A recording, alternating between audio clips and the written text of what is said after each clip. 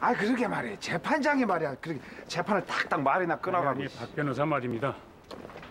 아 제가 우린 주기 잘 맞았는데 난 안 맞았어요. 검찰이 의사 박지기를 신청한 건 박봉주 진술에 모순점을 땜질하기 위한 거예요. 어쨌든 상처가 있는 건 분명하지 땜질 않냐? 안 됩니다 예?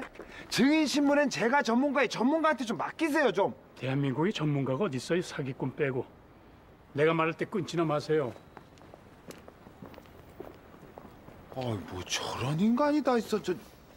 야 너 같은 놈 때문에 대한민국 전문가가 없는 거다. 에휴,